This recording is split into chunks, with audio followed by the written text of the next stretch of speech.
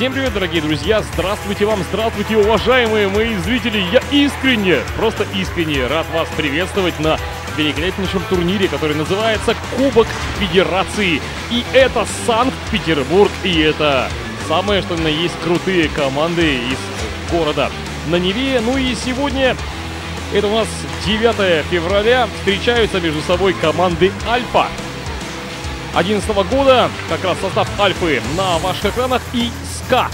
Просто обычная команда СКА. Потому как, ну, я думаю, что вы знаете, есть там еще и подразделения, есть там еще и разные наименования, но здесь обычная команда СКА. Давайте не будем дело откладывать в долгий ящик и пробежимся по составам играющих команд. Команда Альфа, чей состав промелькнул на ваших экранах, Вратарская бригада номер 29 Елизавета Мармандян и номер 55 Степан Нечаев. Далее полевые. Номер 8 Иван Аничков. Номер 72 Иван Белитов. Номер 5 Мираб Габодзе. Номер 16 Василий Гладышев. Номер 28 Леонид Коробов. Номер 3 Григорий Мельников. Номер 96 Олеся Нечаева. Номер 92 Константин Пегашов. Номер 21 Егор Беляевский. Номер 17 Арсений Бобров. Номер 7 Платон Брумин. Номер 44 Сергей Горский. Номер 95 Берсан Закриев. Номер 10 Николай Кудрявцев. Номер 39 Денис Маковеев. Номер 86 Петр Михайлов. Номер 83 Максим Николаев. Номер 27 Артем Прокушенко. И номер 71 Данил Соков. Также здесь еще и заявлен 99 номер. Это Арсений Улищенко. Ну и переходим к составу СКА. Они, кстати говоря, на ваших экранах прямо здесь, здесь и сейчас разминаются. Заявлен здесь всего лишь один вратарь. Это Павел Стуликов, номер первый. Далее полевые. Номер 44 Андрей Бурмистров. Номер 21 Макар Левицкий. Номер 24 Даниил Литвинов. Номер 7 Георгий Мищук. Номер 10 Максим Подгорец. Номер 4 Семен Семенов. Номер 25 Иван Шарко. Номер 11 Макар Анисимов. Номер 17 Алексей Вятсков. Номер 28 Сергей Гроза. Номер 12 Никита Дедов. Номер 3 Арсений так, Дозоров. Номер 13 Иван Лапшин. Номер 27 Матвей Левин. Номер 18 Сергей Маркевич. Номер 30 Даниил Параконный. Номер 14 Дмитрий Попов. Номер 20 Платон Тихненко. Номер 9 Данил Федоров. И номер 15 Демьян Ярулин. Ну и по тренерам.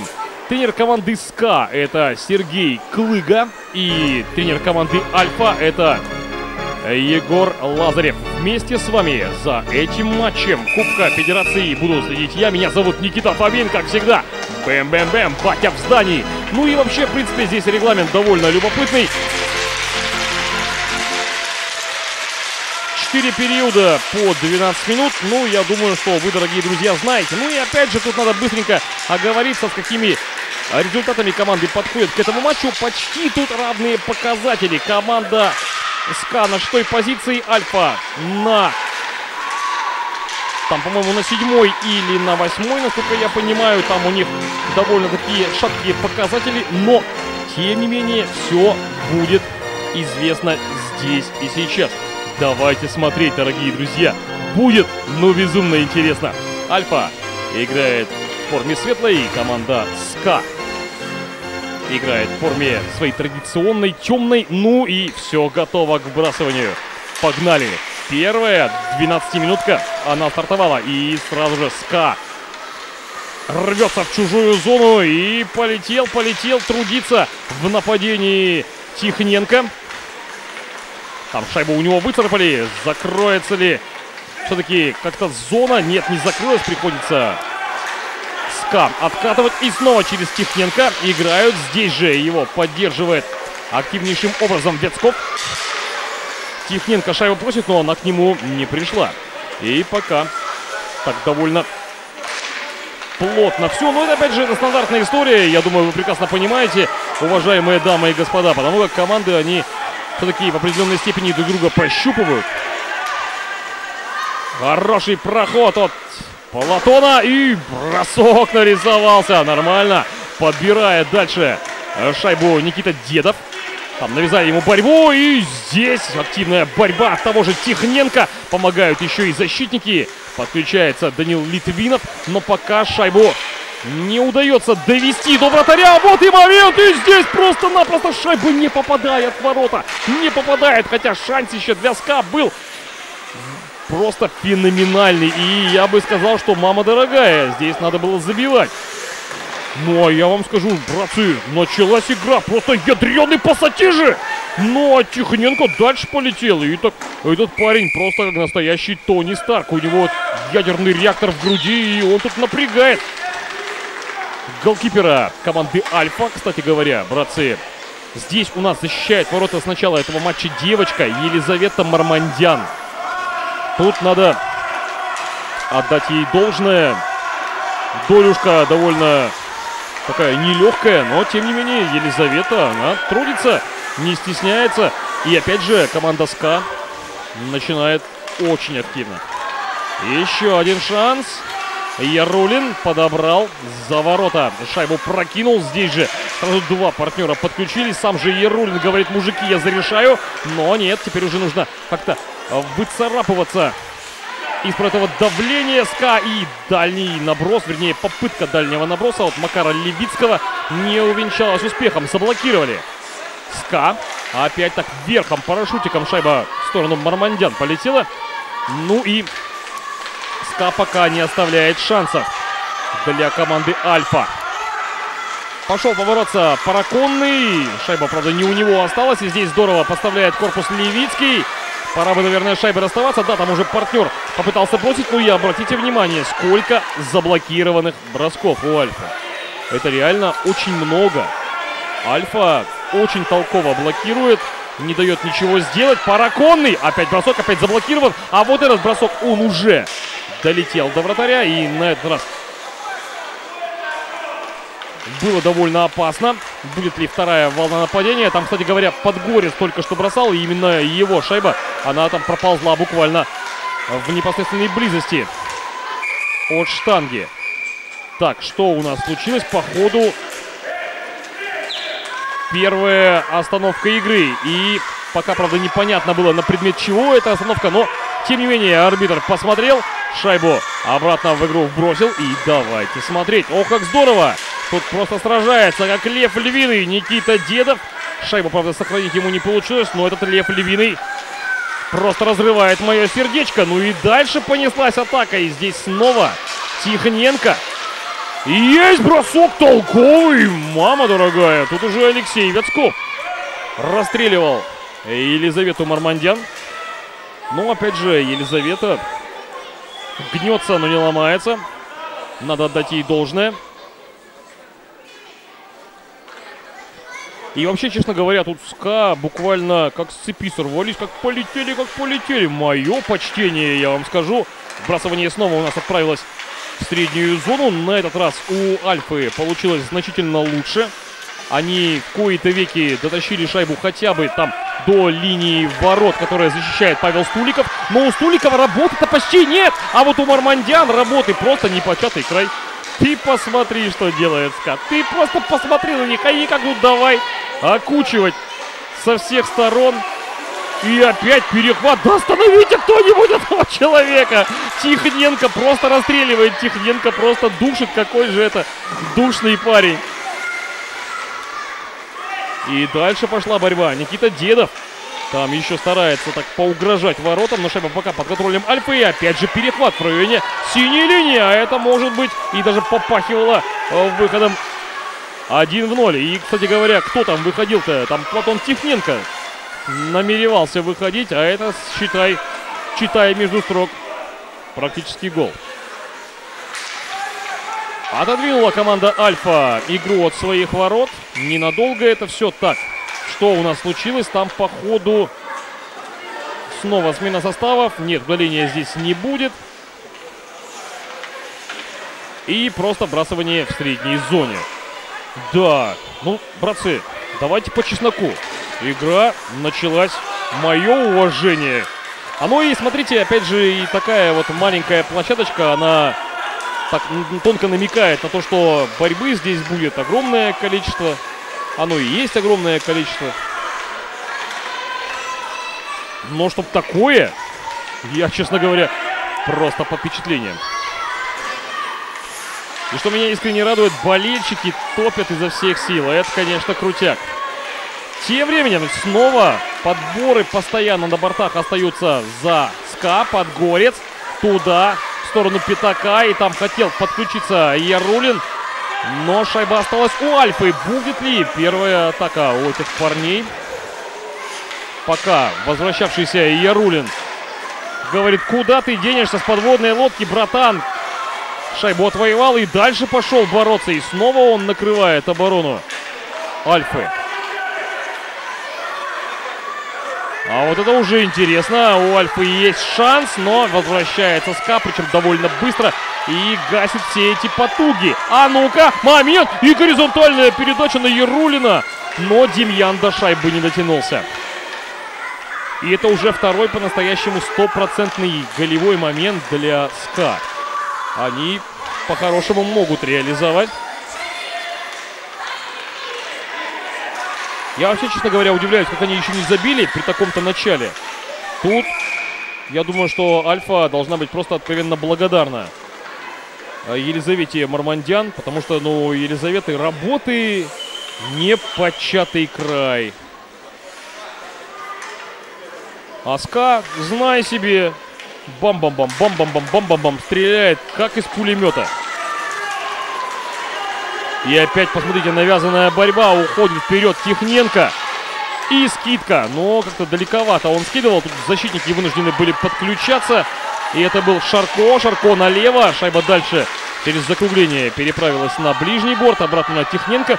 Тихненко пока самый главный созидатель у своей команды. Пытается за счет индивидуального мастерства Ветсков себе найти позицию и находит. И еще и с неудобной бросил.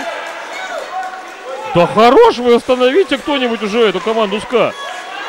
Так, а вот это уже ошибка. И у Альфы опасный выход. Момент. Нет, броска все-таки не последовало. И здесь бросок получился, но шайба в каркас ворот Стуликова ударилась. И пока не так опасно, как хотелось бы для Альфы.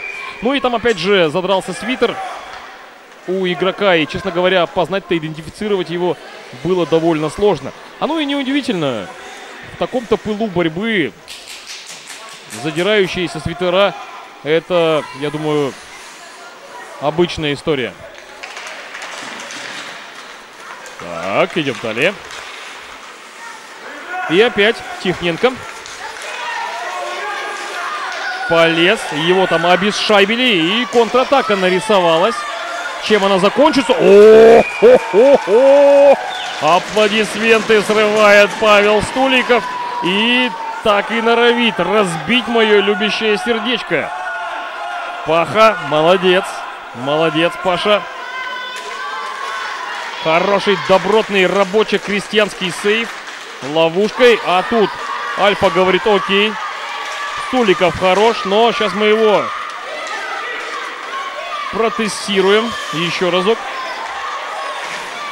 Вроде как полезли вперед, но и, собственно, на этом-то все и благополучно кончилось.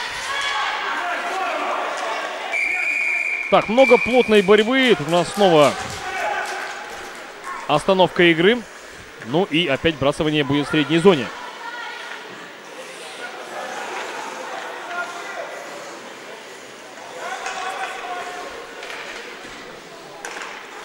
Так. Бросование осталось за Альфой. Полетели они так в атакующую.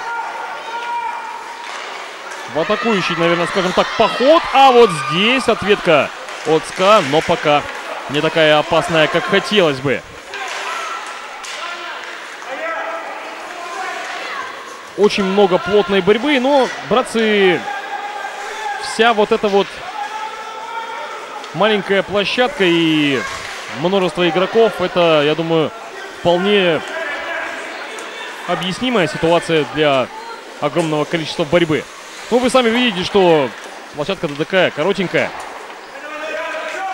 И есть ход в зону для Подгорца. Подгорец дальше полез. И разрезающую передачу хотел отдавать на дальнюю штангу. Не прошло. Альфа.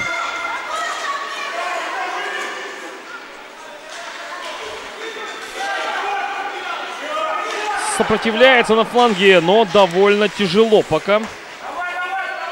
СКА постоянно навязывает борьбу и постоянно тут за шайбу борется.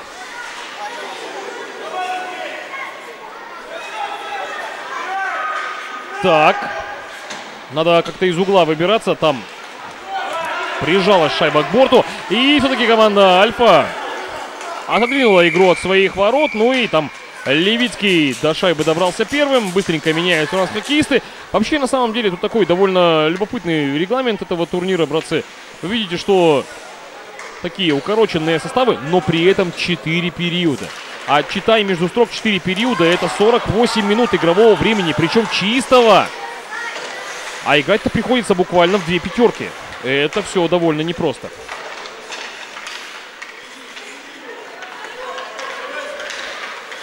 Ска. Пройти так за здорово живешь, за бесплатно в чужую зону не получилось. Альфа постепенно выравнивает игру. И постепенно, честно говоря, становится моментов-то все меньше у их ворот. И, опять же, стартовый штурм у СКА спадает. Здесь навязывает сопротивление у нас в чужой зоне СКА. И это был Данил Литвинов, который оказался очень высоко. Дальше Тихненко. Опять там борется с защитниками. Здесь же и Ветской. Ветской. Перехват. А вот передачи проблема. Она не точная, хотя второй эшелон нападения в лице Литвинова набрасывает. И там еще и добивание было от Никиты Дедова. Как же много у нас событий на один квадратный метр в этом матче. Так, Альфа. Контратаки и улетела шайба за пределы площадки.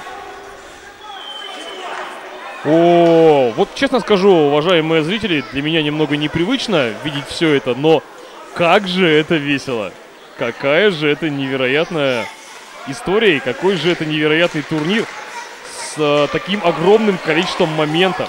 Просто воу-воу-воу.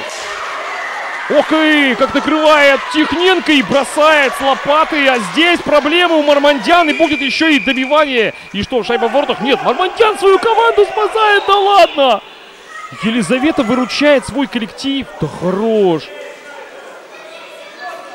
Елизавета, ты... Ты вообще с нашей планеты или где? Там мне казалось, что все уже, но шайба неминуемо побывает в воротах. И еще будет открыт, а вот еще один момент. Но просто не попадают по воротам хоккеисты СКА. Вообще, на самом деле, давайте будем честны. Тут, братцы, пока начало и старт этого матча и дебют остается целиком и полностью за СКА. Но это безоговорочно. Потому как вы сами видите, количество моментов у одних ворот, количество моментов у других ворот. Тут пока без вариантов и просто без шансов. Так, дальше, дальше лезут хоккеисты СКА и пытаются шайбу пропихнуть. А ну сюда, говорит, иди, давай сюда, иди, понеслась сразу Месиловка. Понесся сразу замес, говорит, давай с тобой раз на раз, давай мужик на мужика. И тут арбитр-то с горем пополам. Растащил этих горячих финских парней. Ты посмотри там, какой замес-то понесся, а. Чуть было команда не на команду. Не начали метелиться. Вот это да. Какой там Конор Макгрегор, какой там Хабиб Нурмагомедов. Они просто отдыхают. Так, Левицкий после вбрасывания свою команду отправляет вперед. Левицкий с фланга в центр. Очень неточно. Прямо соперником на клюшку. Довольно тяжело, кстати говоря, разбирать и номера у игроков Альфы, потому что они как-то белые на черном, черные на белом. Тяжеловато. Хотя, надо отметить, сейчас э, Василий Гладышев хорошо здесь поборолся. И шайбу даже на какой-то эпизод выцарапал. Но недолго музыка играла. Быстренько возвращает Подгорец свою команду в нападение. Сейчас, скорее всего, то же самое провернет и Левицкий. Левицкий. Его тут прессингуют. Он дальше идет. Заброс делает туда. В сторону Параконного. Но тот до шайбы-то не добрался. И опять очень плотная борьба в районе центра этой площадки. Ска. Полезли в чужую зону и хорошая какая диагональ. Вот пройди у Подгорца эта диагональ, там все, там железобетонный выход один в ноль. Но надо отдать должное и обороне команды Альфа. Они все-таки справились, хоть и не без труда, но все-таки справились. И, дорогие друзья, по результатам первого игрового отрезка у нас 0-0. Но моментов, бросков, ядреный пассатижи на два периода вперед, наверное. Ну и опять же, давайте так попытаемся собрать нервы в кулак и скажем о том, что ну, так объективно. Первый период он явно закончился за явным преимуществом СКА. Моментов у них было значительно больше, они явно играют первым номером. Ну и опять же, они вроде бы в турнирной таблице все-таки фаворит. У них в данный момент 6 баллов, и они как-то, ну, все равно выше, чем Альфа находится. Но, опять же, не настолько сильно. Давайте смотреть второй период, что у нас здесь команды придумают в рамках этого игрового отрезка. Ворота у нас поменялись, но это нормально, это как всегда в хоккее. Давайте полюбопытствуем. Изменится ли как-то игра? Пока не меняется, пока все-таки хоккеисты СКА действуют активно и действуют первым номером. И опять Ветсков из на на дальние рубежи. Оттуда сразу бомбочка туда полетела в сторону Елизаветы Мармандян. Я думаю, что Альфа должна отдать должное своему голкиперу, потому что если бы не Елизавета, тут бы давным-давно уже все закончилось пропущенной шайбой. И снова Ска. Активничает в чужой зоне, ищет варианты Дедов. Набрасывал в сторону пятака. Не точно. Подбирает шайбу под горец своим партнером скинул. Хорошая какая обводка. И можно выйти, по сути дела, два в одного. И бросок здесь со средней дистанции э, в исполнении Алексея Ветского. Но все-таки Елизавета Мармандян пока непробиваемая. Никак тут не могут к ней подступиться. В основном броски со средней и с дальней дистанции. Хотя надо отметить, что и были моменты-то под воротами. Узка. Но это все, опять же, в первом периоде. Как говорится, смотри пункт первый. Идем далее. И опять же множество плотной борьбы в средней зоне. Приходится Ветскову откатывать, потому что он без скорости скинул назад. А тут проблемы. А тут уже и Альфа в своем активном прессинге.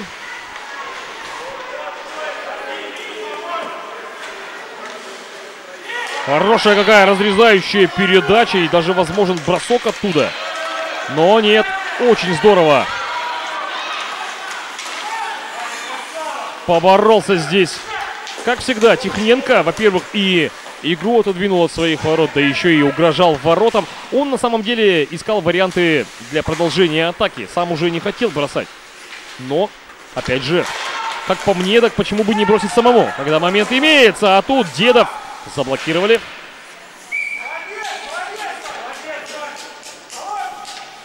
Да, тут я смотрю одобрительные такие крики от наших зрителей, и я их разделяю. Это прям огонь, на самом деле очень круто. Э, команды себя демонстрируют.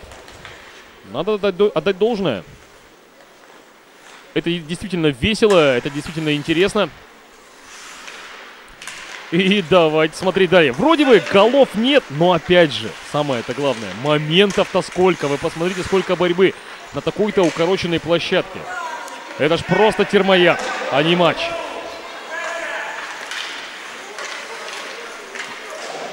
Так, любопытно, что СКА у нас летит в атаку. Тут у нас остановилась игра.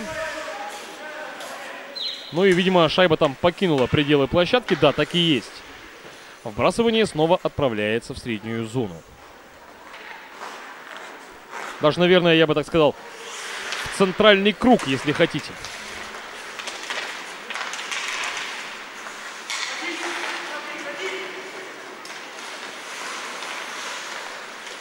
ска.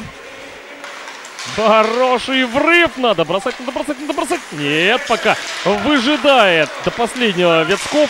И сразу же выдавал поперечную передачу.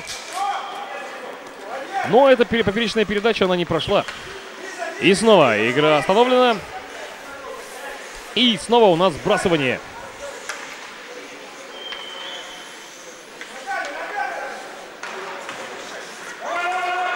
Так, после вбрасывания Левицкий. Откатывает. Там уже на спине соперники. Приходится хоккеистам СКА шайбой расставаться. Напали, напали, напали, кричит один из болельщиков. Ну, пожалуй, тут отчасти правильно. Надо все-таки встречать, там, стараться встречать повыше. А вот и два в одного. Ну зачем, зачем, зачем? Ну брось ты сам, Ярулин, ну Демьян, ну ты чего? Ну что стесняться-то, ну пойди да брось. Такая хорошая позиция. Тем более защитник перекрывал. Опа, а вот и выход 1-0. Момент и спасает свою команду. Елизавета Мармандян. Фантастика просто. Подбор дальше остается за Ярулиным. Ярулин. Хорошая скидка. Там еще и передача была от Маркевича. А вот добивать-то некому. СКА просто задавливает Альфу. Вообще без вариантов. Моментов у Стуликова нет как таковых. Ну вот сейчас, наверное, будет, да. В кои-то веки Павел Стуликов у нас вступил в игру. Но СКА опять 3 в 0 практически выкатывают уже. Контратака, которую мгновенно успел нейтрализовать Максим Подгорец. Надо отдать должное. Максон. Норм, норм, норм. Остановка игры очередная. Быстренько меняются у нас составы. И снова бросывание будет в средней зоне. Да, и опять мы с вами констатируем, что ну есть же реально крутые, потенциально опасные моменты. Казалось бы, вот в моментах, когда уже бросай сам, лишняя передача. Ну хотя, опять же, в пылу борьбы, особенно такой плотной, поди там разберись, поди и выбери правильное решение, оно для того и такое первенство, вот этот кубок, для того и вся вот эта игровая практика, чтобы потом, впоследствии, в будущем уже не думая делать правильные решения. Ну а пока есть время ошибаться, и хороший какой эпизод заблокировал этот бросок Константин Пегашов.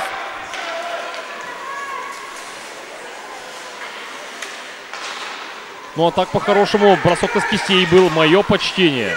И вновь полетел в нападение Никита Дедов.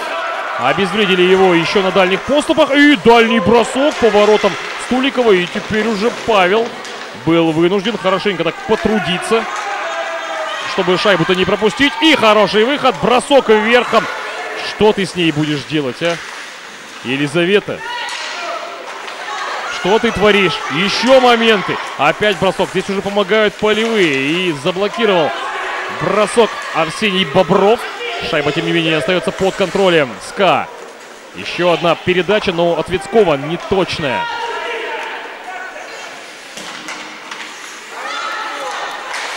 Так. Вот шанс неудобный. Набрасывает в сторону ворот Техненко. Как же много этот человек привозит для своего коллектива. Вы только посмотрите, сколько этот человек трудится как много в его исполнении такой нужной черновой работы. Молодчик просто по красоте играет 20 номер Платон Тихненко. Ну и, конечно же, отмечаем и Вицкова, и Дедова. А тут, я думаю, в каждого у СКА ткни, так они уже на протяжении вот этих вот практически двух периодов создавали огромное количество. Ну и Елизавета Мармандян без вопросов свою команду тащит. Если бы не она, тут счет был бы давным-давно уже открыт. Опять перехват, опять бросок, заблокирован, еще бросок, снова заблокирован, стрелял два раза под горец, еще и попытка добить. Ох, какая заруба понеслась, и все это вокруг ворот Елизаветы Мармандян. Подбор соска, а вот передача неточная. Очень неточная. Приходится откатывать. Воу-воу-воу, там проблемы у Подгорца. И бросок опасный. Ух ты.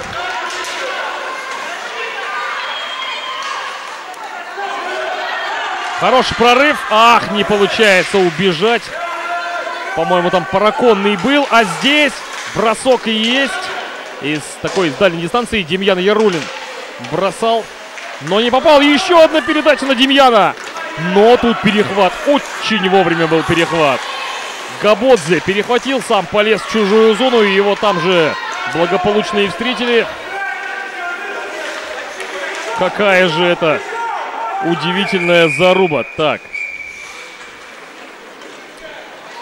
Остановлена у нас новая игра и вновь вбрасывание. Да, удаление здесь не предусмотрено, насколько я понимаю. Просто при нарушениях правил останавливают игру, делают вбрасывание в центральной зоне и полетели дальше. Заруба просто уникальная. Так, и дальше хороший момент организует Никита Дедов. А вот замкнуть бы его передачу, а там некому. Литвинов поборолся, отодвинул игру от своей зоны. СКА дальше продвигает шайбу вперед. Ну и слушайте, дорогие друзья, так судя по первой половине, пока СКА играет явно первым номером, вообще не оставляя никаких шансов Альфе. Ну и такими темпами они рано или поздно Елизавету Мармандян додавят. Все-таки нагрузка на нее довольно серьезная. От этого никуда не денешься. Приходится ей вкалывать. Так, по полной программе. Ну и рано или поздно она начнет ошибаться. Но это просто неизбежно, ребят.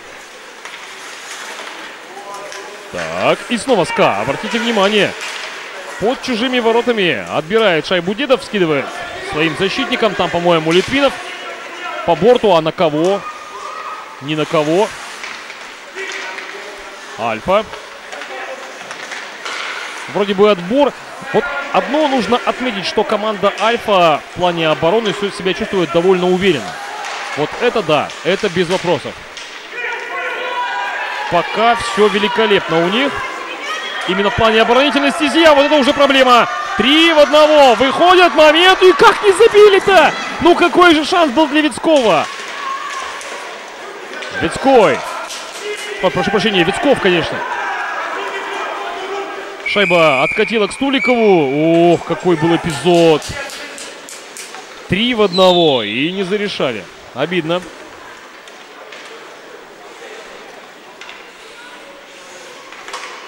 И ведь причем, давайте будем опять же откровенными, давайте будем честны. Это уже не первый, далеко не первый эпизод, когда был выход три в одного. Опаньки, а вот и гол! А вот и гол! Вот это да! Вот это да! И это Демьян Ярулин оформляет эту шайбу. Еще разок повтор этого момента, дорогие друзья. Ни с того ни с сего прилетел Галешник. Так, во-первых, выигранное вбрасывание и просто Демьян Ярулин уходит, хлобысь, спокойно бросает. И это его шайба, это явно его шайба. Демьян Ярулин открывает счет в этом матче. Ну вот, дорогие друзья, давайте будем честны. Это было неизбежно. СКА явно себе наработали на шайбу. Хоккеисты СКА уже сделали все возможное и невозможное для того, чтобы забить. Единственное, чего я не понял, почему при всех тех сейвах Елизаветы Мармандян прилетела такая простая шайба издалека. Но, опять же, это, скорее всего, уже накопленная усталость. Все равно, ну ты не можешь так просто сохранять концентрацию, когда тебя так атакуют, когда тебя так месят, тебя так метелят, так по твоим бротам бросают. Ну это же ну, это невообразимо тяжело. Левицкий наброс, Мармандян в деле. Она, бедолага, трудилась там как могла. Вопросов нет, там оборона еще и помогала, конечно, в большинстве эпизодов, но тем не менее, сама Елизавета тащит, тащит, тащит и продолжает тащить. А СКА, ну, без вопросов, наработали на шайбу. После вбрасывания снова владение остается именно за СКА. Хотя тут навязывает борьбу очень высоко Альфа. И тут же обрезается, и тут же можно убежать. Но вот В результате рикошетов шайба не совсем точно к Ярулину пришла. А так-то, в принципе, Демьян мог снова убежать 1 в 0. Отбивается с огромным трудом Альфа. И опять, обратите внимание, контроль шайбы. Заска, Подгорец. Останавливает этот выход. Здесь же снова подключение. В нападении, обратите внимание, сколько народу атакует у СКА. Четыре человека. Практически перед самыми ворот, воротами находится постоянно. Так, снова игра остановлена. Здесь Макар Левицкий все равно должен был быть первым на шайбе. И это без проблем. В общем и целом у нас уже, я так понимаю, близится к концовке второй период. И вместе с ним середина этого матча. Но отбрасывание выигрывает снова команда СКА. И опять Никита Дедов. А тут хорош подбор. Смещается Ветсков. И тут в результате некоторых пертурбаций покинула шайба вообще, в принципе, пределы площадки. Ну и опять же, давайте, дорогие друзья, раз уж мы с вами говорим об топовом хоккее, то мы должны экстраполировать и Показатели взрослого хоккея сюда, на детский хоккей. Я думаю, это будет, наверное, правильно. Я, собственно, как комментатор КХЛ и МХЛ могу сразу же с уверенностью сказать, что те самые показатели, которые используются в КХЛ... Ой-ой-ой-ой-ой-ой-ой-ой! Что это была за неразбериха? Что это такое? Павел Стуликов тут не разобрался со своими партнерами и шайба отправляется в ворота. Егор... Так. Получается, у нас забил Егор Беляевский. Шайба просто катится, катится, катится, катится, катится, катится. Ну, ну, ну, надо ее просто-напросто накрывать. Ну что, ну почему? Ну почему, Павел? Ну это же... Ой-ой-ой-ой. Пашок, Пашок, ну как же ты так, друг? Ну обидно, честное слово, такая курьезная шайба залетела. Не, ладно, я, дорогие друзья, вот я объективен, все-таки я стараюсь быть объективным. Если бы там Альфа там загружала работой Павла Стуликова вот так же, как Елизавету Мармандян загрузили, окей, вопросов нет. Это была бы, да, правда, шайба. Я бы кричал гол, окей, огонь, красота, костер и тому подобное. Но здесь шайба катилась, катилась, катилась, катилась. 700 километров она катилась и просто закатилась. Да, Паха, давай-ка собери как-то мысли в кучу. Надо реабилитироваться. Дедов центр, а там Тихненко первым на шайбе будет. Нет, его там борются с ним. И да, Тихненко, получается, переигрывает там своего визави. И еще и наброс на пятак. Здесь Тихненко добавляет. И гол! Гол! Гол! Забивает все-таки тот самый Платон Тихненко. Он, ну, он, он заработал. С передачи... Да, с передачи Алексея Ветского вот еще раз, давайте посмотрим, как это было. Наброс на ворота. Шайба здесь выскочила на пятачок. Ну и, собственно, ее задел Ветсков. Отлетела она к Техненко. И уже Техненко тут ее завалил в ворота. Кстати говоря, первая эта шайба у нас была забита с передачи 18 номера СКА. Это Сергея Маркевича. Мы забыли отметить. Ну а первая шайба Альфы, она была занесена в Савинова. Это был Егор Беляевский.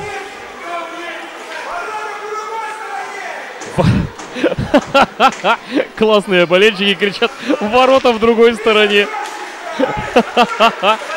Это класс. Опаньки, а вот еще один момент. Что, да что она делает? И опять ее просто, ну, ну, обстреливают, метелят со всех сторон. Это просто феноменальная игра. Вратаря. Вау. Ну и у нас с вами закончился второй период. Я думаю, что Альфа должна уже реально поставить памятник Елизавете Мармандян, потому что Елизавета делает эту игру. Она сохраняет свою команду при минимальном отрыве от СКА. При том количестве моментов, которые насоздавали игроки СКА, это просто феноменально. Это реально феноменальная история.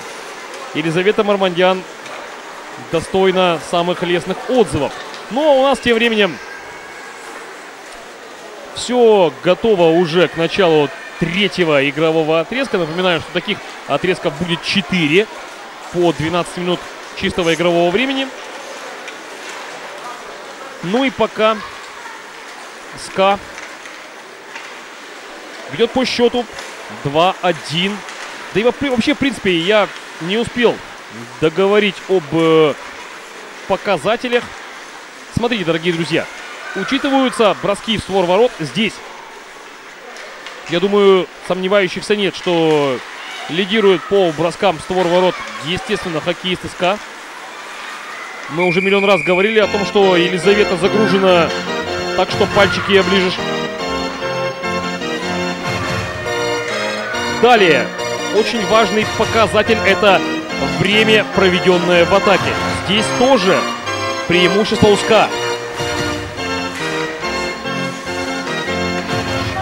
Они буквально не вылазят из э, чужой вратарской.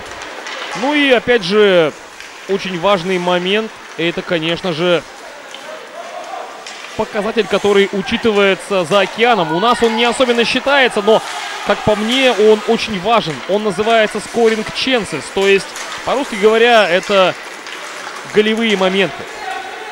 Это самый, наверное, объективный показатель, который показывает, сколько команда насоздавала. И как она близка к тому, чтобы победить или забить шайбу. Здесь по этому показателю, опять же, тотальное преимущество команды СКА. Пока, во всяком случае, на первую половину. Они значительно, в разы больше голевых моментов привезли к воротам Елизаветы Мармандян. В общем и целом, давайте смотреть третий период. Откатывает аккуратненько Семенов. И так, левым бортом пытался шайбу отвести подальше от своих владений. Ну а тут Альфа снова навязывает борьбу. Явно видно, что как-то перерывчик-то он пошел им на пользу.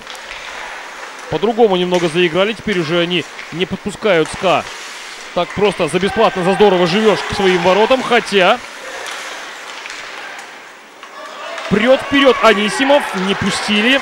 Здесь же и контратака у нас вытанцовывается для Альфы. Хотя контратака она не смогла так сказать, использовать вот этот вот момент неожиданности, фактор неожиданности, если хотите, и пришлось довольствоваться уже попытками позиционного нападения, которые не увенчались успехом. Вбрасывание у нас снова в средней зоне.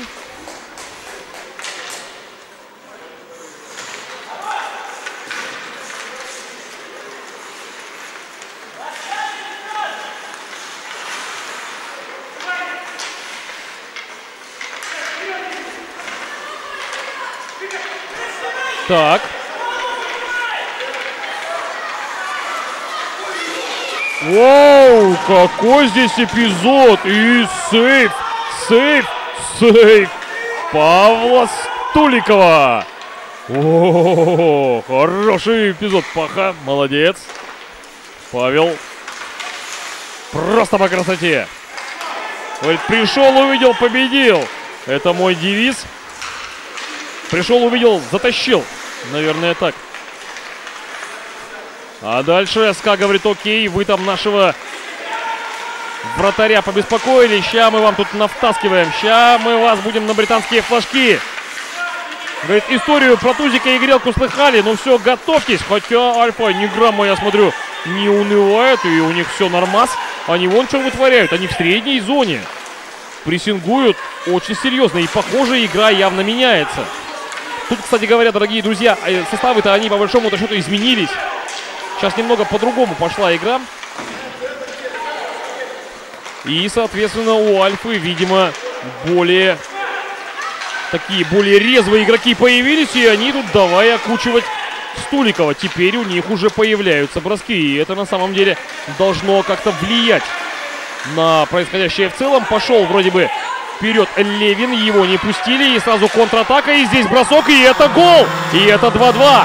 и оформляет этот галешник. 72 номер. Вот он, кстати говоря, на ваших экранах. Это Иван Блитов. И это защитник команды Альфа. И опять же, бросок со средней дистанции зарешал. Вот посмотрите, Блитов шайбу перехватывает. Здесь обходит Георгия Мищука. Смещается. Есть еще один защитник. Но заблокировать бросок не получается. Бросок Блитова. Там еще и вроде бы даже зацепил Стуликов эту шайбу ловушкой, но она предательски залетела в ворота. Вот это заруба. 2-2. Мама дорогая. Альфа возвращается. Альфа в деле. И все это, безусловно, результат, конечно, первых двух отрезков. Сейчас игра изменилась. Теперь уже и у СКА довольно серьезные проблемы. Они пока еще не напрягали вратаря. Альфы пошел в чужую зону Гроза. Его довольно быстро остановили. А вот у Альфы наступательная операция не увенчалась успехом. Дальний бросок рикошетов. Огромное количество, миллион и один. Но они все-таки к Стуликову не прилетели. Анисимов хотел продольный пас такой сделать вдоль борта. Не вышло. Ох, как атакует Альфа. Вы посмотрите. Подбирает шайбу Семенов. Выбросить не дали. Альфа вообще по-другому заиграла. Ну, понятно, другие игроки на площадке. Тем не менее, такой прыти, такого рвения я, честно говоря, не ожидал. Есть еще один хороший эпизод. Но тут в центре все заканчивается. Вау! Как тут толкнули жестко Дмитрия Попова. Димон, держись, друг. Надо бороться. У Альфы еще одна прострельная передача, которую перехватывает Сергей Гроза. Сергей Гроза, он на самом деле такой более габаритный парень. Он просто огромный, и ему надо пользоваться габаритами. Просто, Сергей, иди вперед, дави защитников. Вот она твоя стезя, ты должен, ты должен быть форвардом таранного типа. Иди, сминай их, они ничего с тобой не смогут сделать. В этом твоя фишка. Работай, работай. И у тебя веса больше, у тебя рост больше. Ой, какой момент! Момент еще и столиков, да ладно! Столиков спасает свою команду по красоте. Просто играет парень не с нашей планеты. Он просто выкован на железобетонном заводе и играет феноменальный хоккей. Есть еще один выход. Теперь уже от Альфы. Бросок и снова Паха. Пашок. Ты феноменальный. Молодец, Паша. Здорово Паша играет. Ну вот даже болельщики отмечают. Паша просто батяня комбат своей команды. Он сердце не прятал за спины ребят. Мое почтение, Паха.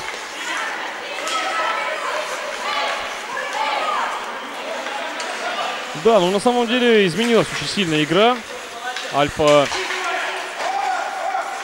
заиграла совсем по-другому. Ну, видимо, на это и был, наверное, расчет, чтобы забрать вторую половину, как-то затащить первую, ну, с минимальными потерями и забрать вторую. Так, узка потери одна за одной и так и сыплются опасные набросы туда, в сторону Стуликова. И посмотрите, моментов-то перед воротами Альфы практически нет. В том-то и дело, что мы там вратаря толком-то и не видим в игре. В основном атакует Альфа. И есть прорыв на этот раз. Кудрявцев пошел по центру, и там же его и обезвредили. Ну а тут борьба.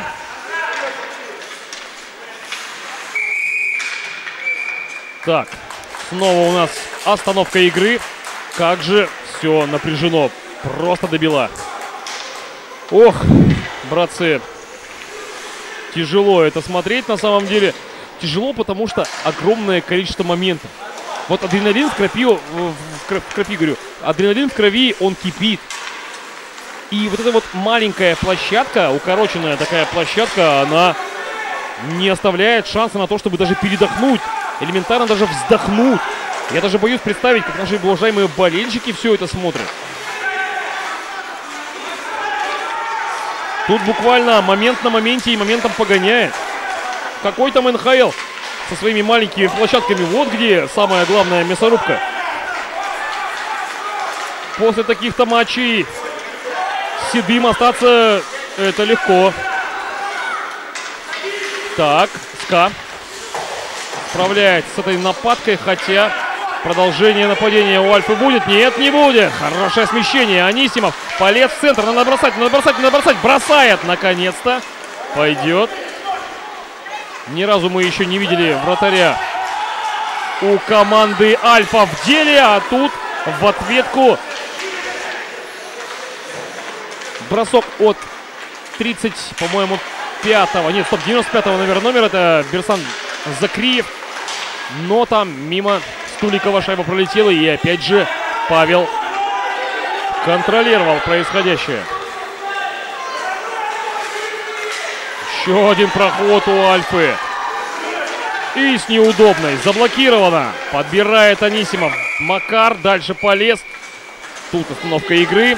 Снова нарушение правил произошло. И снова быстренько меняются игроки. И вбрасывание будет в средней зоне. Да, ребята, какая же это невероятная игра. Ох ты! Бросок в дальний от нас с вами угол. Там Павел прижался к штанге и спокойно нейтрализовал этот бросок.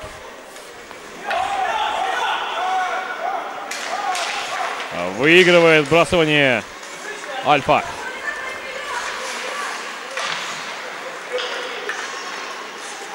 Пока пройти вперед не получилось, приходится откатывать за ворота.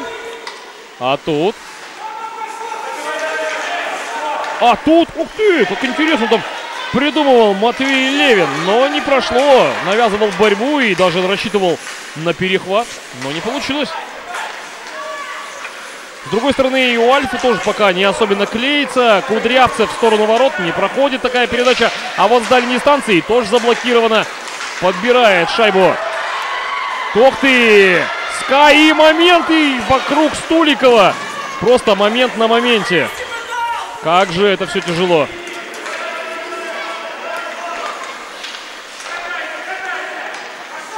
Альфа откатывает, аккуратничает. Там так, скажем прямо, дорожит шайбой Блитов. Кстати говоря, Блитов один из авторов шайб. Вернее, шайбы в этом матче. И снова Альфа через центр. Момент, бросок. Заблокировали моментально Кудрявцева. А тут что? А тут остановка игры. Да. Нарушены правила, остановка игры. Нарушили правила на Олесе Нечаевой. Кстати говоря, две девочки, напоминаю вам, в команде Альфа. Но я смотрю, им это не мешает. Они, наоборот, очень хорошо так влились в этот состав. Ну и посмотрите, 2-2. Мясорубка просто бешеная. Я, я не знаю, как я этот матч доработаю. Тут просто не матч, а нервотрепка. Ты посмотри, что вытворяет Альфа. Здесь классно. Навязывает борьбу бурмистров. Ну, шанс, перехват, надо бросать. Есть бросок, классно. Еще и добивание понеслось. Это просто феноменальная борьба. Вот это уже классно было перед воротами. И дальше продолжает тащить Елизавета Мармандян. Как ее остановить, я не знаю. Тут же ответка от Альфы. Бросок неточный выше ворот. Там и выше даже вот этого импровизированного бортика шайба улетает. Что происходит? Что это происходит? Как вообще это комментировать? Такие моменты от ворот до ворот.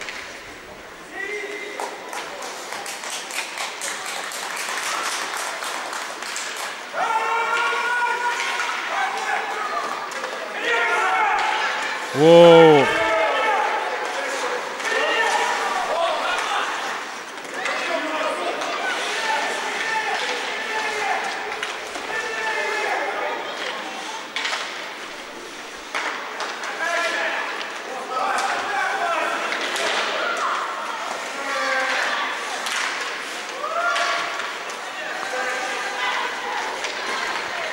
Да, снова огромное количество борьбы, и в основном она пока в средней зоне. Так, падение, и остается шайба у хоккеистов Альфы. Но тут на каждом сантиметре площадки постоянный прессинг. Какая скорость, передача в центр. Ох ты, неприятный эпизод. Так, игра. Игра остановлена, игра остановлена. Игра остановлена. Там уже в пылу борьбы. Даже, я уж не говорю про себя, я не говорю про болельщиков. Там у болельщиков все кипит внутри, у меня все кипит. Игроки даже свистков толком не слышат. Говорят, давай, все, какой там судья, полетели дальше. Так, шайбу-шайбу просят наши болельщики.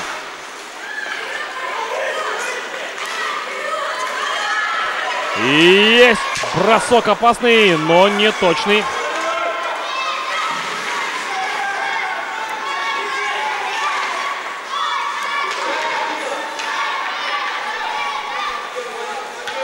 И снова в средней зоне Альфа пытается продвинуть шайбу вперед. Пока это проблемно.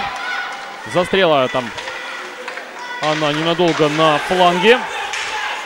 Хорошая скидка и проблемы у СКА, потому что никого толком-то перед воротами не оказалось.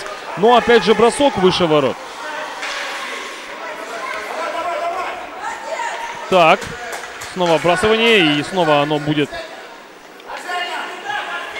в центре. Да, я... Нет, ну, дорогие друзья, я, конечно, ко всякому готовился, но к такому... Оу. Просто к такому я не был готов. К такому меня жизнь не готовила.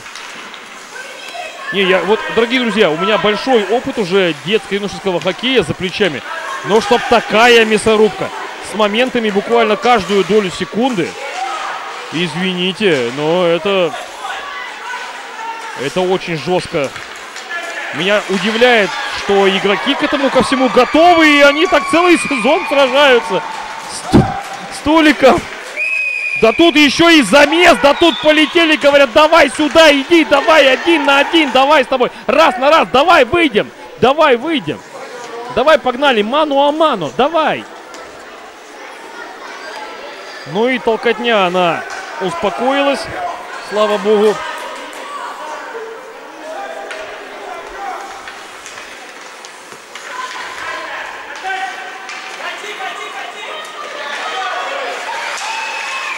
Так. А вот и контратака. Вроде бы понесся в чужую зону Данил Федоров, но его так еще на дальних поступах остановили. Там уже арбитр даже не может досвистеться, что третий период у нас окончен. 2-2. Какая жесть. И впереди четвертый период, дорогие друзья.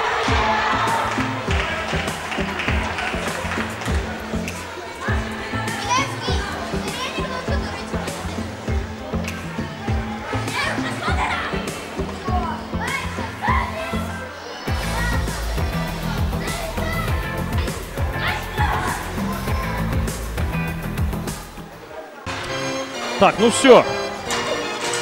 Ожидание было недолгим. Четвертый и решающий период на, у нас с вами на подходе. 2-2. Я не знаю, как вы это смотрите, братцы, но это, это все. Это уже конечное для моих нервов. Запасайтесь глицином, запасайтесь валерьяночкой, запасайтесь валидолом, потому что здесь просто отвал башки. Полетела вперед атака у Альфы. И Петр Михайлов ее возглавляет.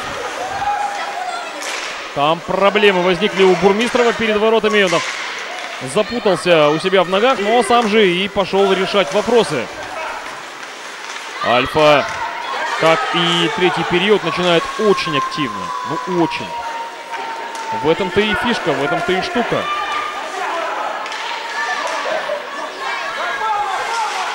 СКА не получается далеко убежать от своих ворот. Здесь же нарисовался перехват от Грозы.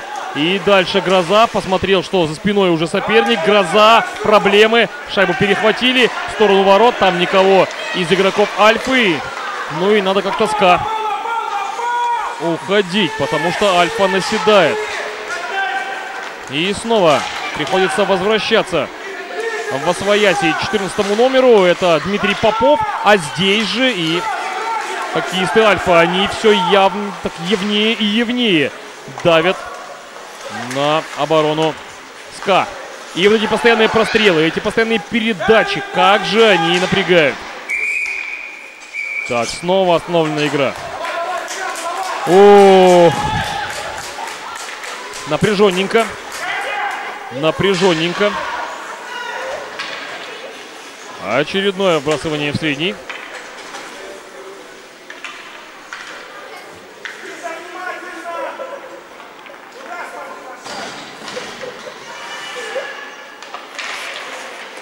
Состоялось у нас сбрасывание, ну и осталось оно так по совокупности эпизода за Альфой. Кудрявцев развернулся по правому борту, пытается просочиться. Да, резко уходит влево. Кудрявцев! Кудрявцев! Бросают! Да ладно, Стуликов! Да ладно, Пашок! Да ладно, Паха! Какое сумасшедшее спасение! Еще и подбор остался за Альфой. И снова горизонтальная передача. И здесь опять Кудрявцев. И он опять туда. В сторону Пятака. Очень толковый парень. Хорошо видит площадку. Но опять же, с другой стороны, и узка. Есть свои герои. Есть свой отряд Мстителей. Там тоже есть свой капитан СКА. Капитан Америка. Там Человек-паук, Тони Старк, у которых там у каждого просто ядерный реактор в груди. И они готовы поливать, поливать и поливать энергетикой на площадке. Но пока Альфа владеет инициативой. Здорово поборолся Иван Лапшин. Нужно отметить хороший эпизод. Но здесь и Павел Стуликов. Он просто в поте лица. Во второй половине моментов, конечно, перед его воротами значительно больше, чем в первых двух. Ну, вернее, как в первых двух. В первых двух периодов. Периодах. Так. Опять какой-то там сумасшедший рикошет. В результате борьбы. И снова шайба полетела туда, в сторону Стуликова. И еще одно бросование у нас с вами намечается в центре.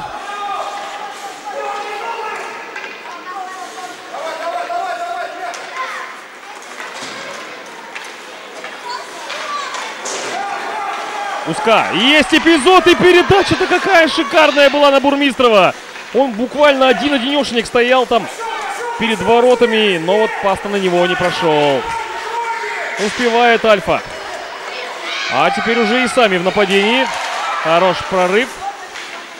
И в этом прорыве активничал Леонид Коробов.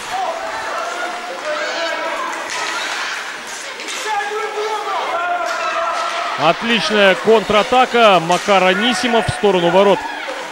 Шайбу отправлял, но пока для Мармандян это не проблема. Учитывая, что она тащила... Оу! В первом периоде здесь, посмотрите, какой был эпизод. Мармандян сама ошиблась. Но, опять же, шайба после рикошета с ней полетела не в створ ворот. Вот шанс! Бросок Стуликов! Стуликов свою команду выручает. Шикарный момент. Альфа давит и давит, и давит, и давит, и давит, и давит.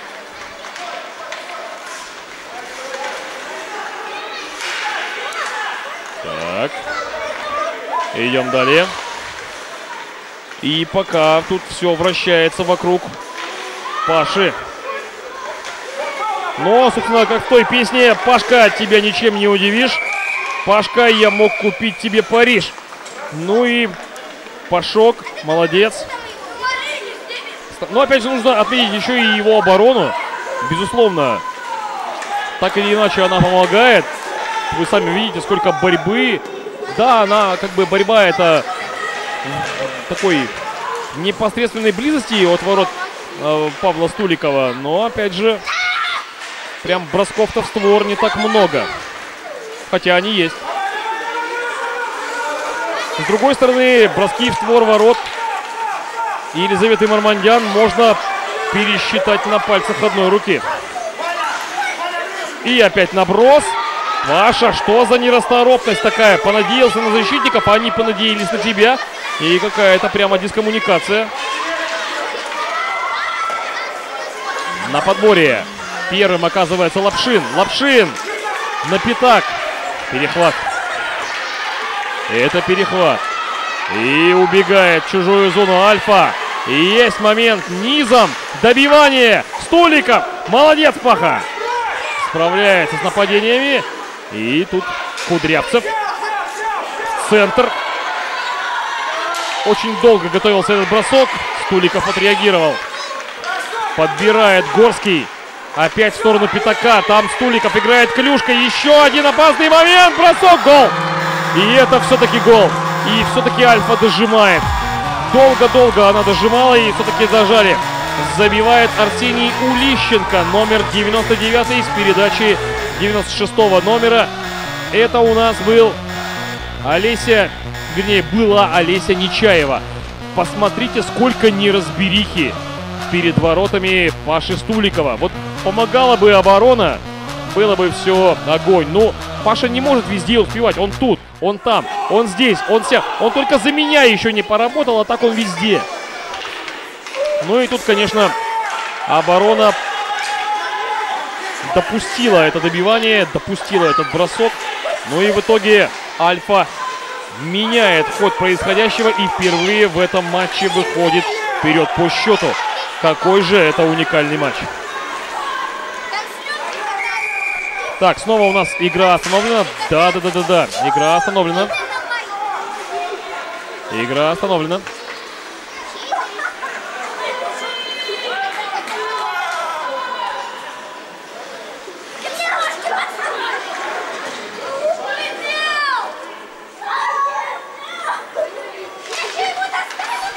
Так, ну что ж, идем далее. СКА прессингует довольно высоко, но пока это не дает никаких результатов. А вот у Альфы поперло. И причем поперло это мягко сказано. У Альфы поперло так, что мое почтение.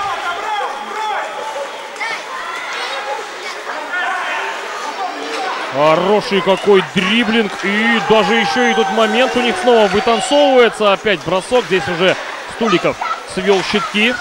Нейтрализовал эту угрозу. А вот и еще одна волна нападения. Ну, тут бросок с неудобный. Это не так опасно.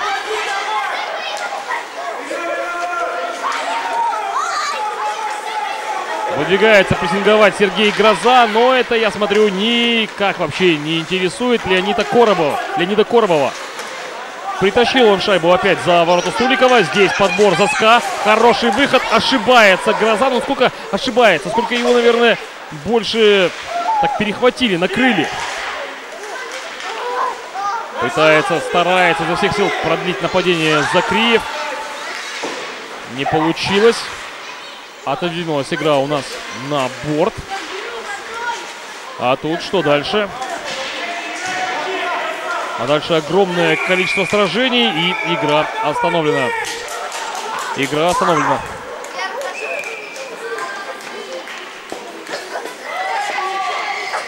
Да, шайбу требуют болельщики. Так, я смотрю, там Дети очень довольны, видимо, происходящим. И есть хороший момент. Бросок стуликов вытаскивает. Тяжелейший эпизод. Буквально 2 в 0 его атаковали. 2 в 0. Это очень тяжело. Еще одна атака. Просто посмотрите, волна за волной. Волна за волной у Альпы. А вот у СКА Нападения пропали как таковые. И вновь смещение. Бросок низом. Противоход по ходу э, шла эта шайба от Ивана Блитова. Но не попал. Еще шанс. Бросок как таковой не получился. Ну и небольшая ошибка. Там бросал поворотом в очередной раз, кстати говоря, у Лищенко. И опять тут всеми правдами и неправдами стараются атаковать именно владение Павла Стуликова. Вот за что, дорогие друзья, стоит любить Кубок Федерации в Санкт-Петербурге. Так это за то, что как игра меняется при смене составов. Вы посмотрите, как все изменилось. Кардинально все изменилось. Опасный бросок. И шайба буквально в миллиметрах от правой от нас с вами штанги прошла. Попытался вроде бы пойти в нападение Матвей Левин, но не пустили. Вот есть контратака. Ну почему игра остановлена? Игра остановлена. Шансище, шансище. Был для СКА, но опять же остановка игры не позволила развить это перспективное нападение и, возможно, сравнять счет.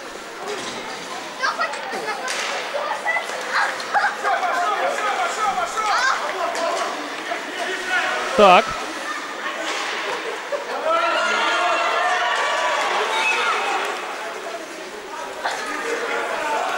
И снова шайба под контролем Альфы. Они уже никуда не торопятся, а зря. Тут успевает их накрыть Дмитрий Попов. Хотя там ничего не выросло, а вот у Альфы вырастает момент опасный с прострелом. И там можно было ставить жирную точку в этом матче, замкнув вот эту вот горизонтальную передачу. Даже, наверное, не столько горизонтальную, сколько диагональную. Но, тем не менее, факт остается фактом. Там на дальней штанге замкни и все.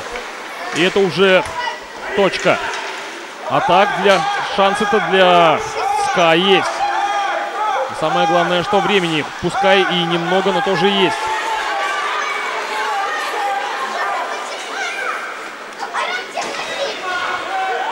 И опять прорыв у Альфы.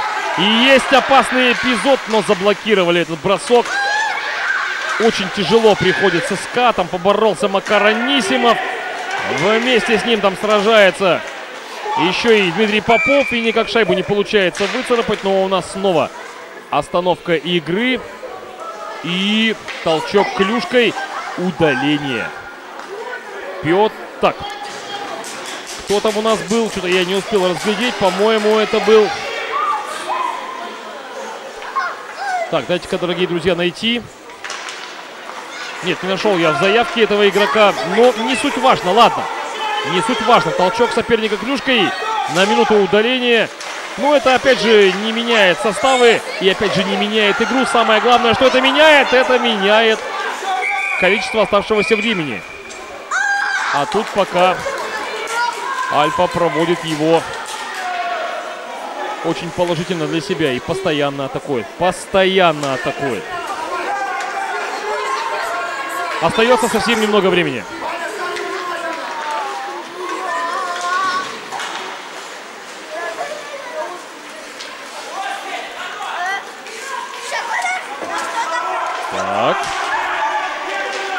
Альфа.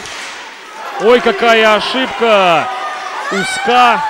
Передача. Бросок. Но здесь оборона помогла. Здесь уже пришлось просто под шайбу подставляться. Больно там. Но там повреждение. Нужно уже останавливать игру. Там повреждение у игрока СКА, который героически на себя эту шайбу принял. Так вот понять бы, кто это у нас. И отметить этого парня ну, на самом деле, подставляться под такие вот летящие шайбы, это очень неприятно, это очень больно. Даже не сомневайтесь, уважаемые зрители. И здесь надо, конечно же, отдать дань уважения, мужественности.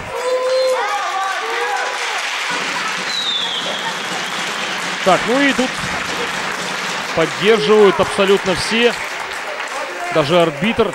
Так, кто же это у нас? Вот не вижу я, не вижу. Это седьмой номер. Ребята, это Георгий Мищук. Жора, давай, друг, держись. Надеюсь, что без травм все обойдется. Надеюсь, что все будет нормально. И надеюсь, что там ничего страшного. В общем и целом, Георгию Мищуку здоровья. Ну а пока за воротами гроза. Скидка налево, на Левина. Левину пройти не дали, накрыли.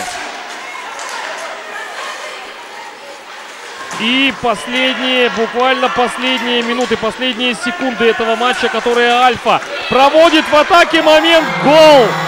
На последних секундах буквально Альфа забивает гол и делает это Арсений Улищенко, номер 99 с передачи Николая Кудрявцева и с передачи еще и Ивана Блитова. Вот еще раз смотрим. Заставляют Блитова расстаться с шайбой. Здесь же еще и, похоже, задел Кудрявцев и отлетела шайба к Арсению Улищенко. Ну и похоже, что он ставит жирную точку в этом матче в плане определения победителя. Остается буквально несколько секунд до конца. Альфа в тяжелейшем поединке вырывает, буквально вырывает победу у команды СКА. Хотя, надо дать должное СКА, первую половину выдали ну просто идеально. Вот по-хорошему создайте там комфортное преимущество, все было бы совсем по-другому. И победа была бы в руках. Но, тем не менее, это хоккей. Имеем то, что имеем, братцы. Остается буквально несколько секунд до конца. Давайте поблагодарим обе команды. Это было шедеврально, это было красиво. Так, остановлена у нас игра. И, собственно, все. Матч окончен. Поздравляем Альфу. Со счетом 4-2 они победили. СКА, конечно, обидно, но, тем не менее, они старались, они дали настоящий бой. Надеюсь, что трансляция этого матча вам понравилась. Вместе с вами за этим матчем следил я. Меня зовут Никита Фомин. Я, как всегда, говорю о том, что любите хоккей. Потому что хоккей — это не просто игра. Это в случае этого матча 4 периода, за которые мы успеваем прожить настоящую жизнь. Но было же ярко, правда? Было ярко. Кубок Федерации — это что-то невероятное. СКА, спасибо. Альфа, мои поздравления. Всем до новых встреч. Всем пока-пока.